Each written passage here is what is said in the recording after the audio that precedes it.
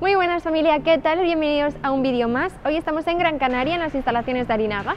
Os voy a presentar una autocaravana alemana de la marca Bussner, sería el modelo 734, es la 60 edición del año 2020. ¿vale? La distribución que tiene es una cama trasera en forma de isla, baño separado de la ducha y un gran salón con una cocina. Vais a ver que tiene un montón de espacio, ¿vale? Esta autocaravana tiene una longitud de 7,41, un ancho de 2,32 y un alto de 2,92 motor Fiat de 140 caballos, llantas de aluminio de 16 pulgadas, volante y pomo de la palanca de cambios forrados en cuero, aros del velocímetro cromado, radio con retrocámara, aire acondicionado y calefacción en cabina, Sky View, cortinas plisadas tipo Remis, calefacción Truma Combi 6 de gas. La puerta tiene un tamaño XL, como veis tiene ventana con su propio oscurecedor, una repisa para poder dejar cosas, una papelera, doble cierre, cierre de seguridad, mosquitera en la puerta y luz de cortesía. Además, el escalón está rebajado para no necesitar ningún adicional. Como veis, el garaje tiene un tamaño bastante considerable, pero lo podemos hacer incluso más grande levantando la cama que está justo aquí encima. Como extra tendría una luz de cortesía. Como ya sabéis, al garaje normalmente podemos acceder por la derecha y por la izquierda, entonces aquí tendríamos la otra puerta. Y esto de aquí es el arcón del gas con hueco para dos bombonas grandes. Aquí estamos en el salón de la autocaravana. Esta autocaravana es de cuatro plazas para dormir, pero sin embargo en el comedor entramos seis personas. Esta mesa se puede mover para ajustar a la comodidad de todos y justo encima mía eh, tenemos el Sky View y almacenaje.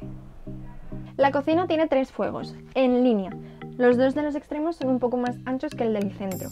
Además también tenemos un fregadero que es bastante amplio y a mí me parece muy importante y vital a la hora de tener una autocaravana que tenga un poquito, que sea un poquito de espacio en, en la encimera, ¿vale? Además tenemos almacenaje en la parte superior, aquí tenemos un enchufe de 220 y aquí un pequeñico cristal para proteger la madera. Justo a la derecha de la cocina tenemos la nevera. Es una nevera trivalente que significa que la podemos conectar por batería a 220 y a gas. Y en la parte superior tiene un pequeño congelador. Después de ver la cocina y el salón, vamos a ver lo que tenemos aquí. A mi izquierda tenemos una ducha que parece una ducha de una nave espacial, a mí me encanta, con mampara también independiente. Y a la derecha tenemos el baño con almacenaje.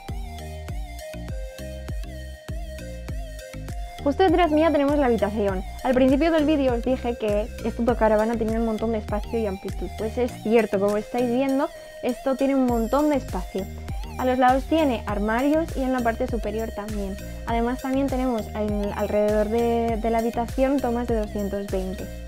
Como os he dicho, tiene cuatro plazas. Dos dormirían en la cama isla de la parte trasera y las otras dos personas dormirían sobre la cama eléctrica que baja sobre el salón.